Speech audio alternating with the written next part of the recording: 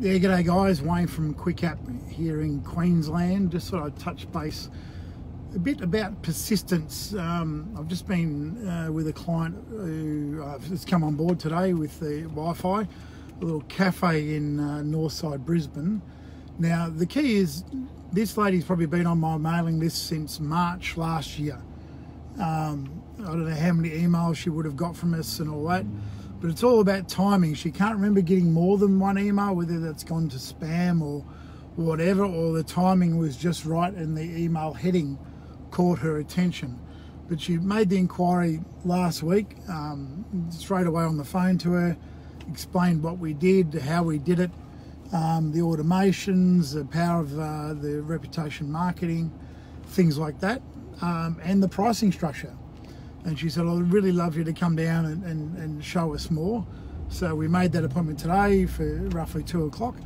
Went down there and uh, sat with her, had a cup of coffee, walked through the back end of the platform, um, already set up her location and one automation and tested the router at home. Um, so I said, look, while, while, I'm here, why don't we plug the router in and I'll show you exactly how it works. So just an SH100, plugged it in, showed her the login experience. I logged in again. I'd already had the trigger point set for a second visit for a Google review.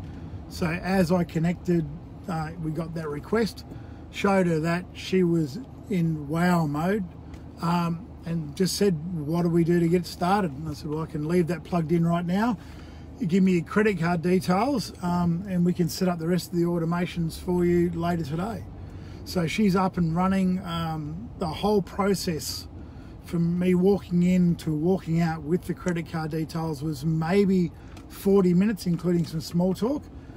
Um, but guys, that's a lady that's been on my list, had email after email from us, um, and just finally caught her attention. Now, I've had that happen a few times lately, and uh, sometimes I just jump into my MailChimp and hit resend the campaign, and that could be a campaign I've done a year ago.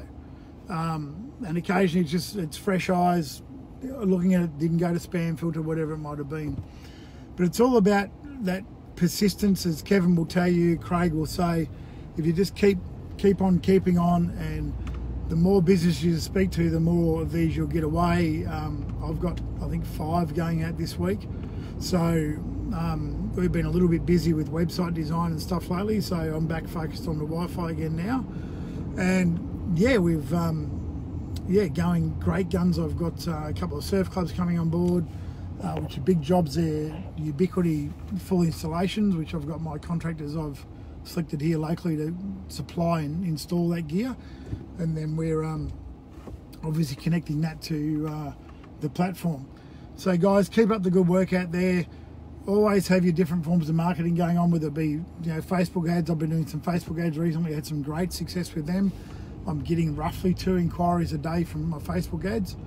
Um, so yeah, just a couple of different forms of marketing and advertising and, and keep it up and you'll start to get some success and some rungs on the board. Peace out from me. Hope you're all well. Have a great day and I'll chat to you all soon. Bye.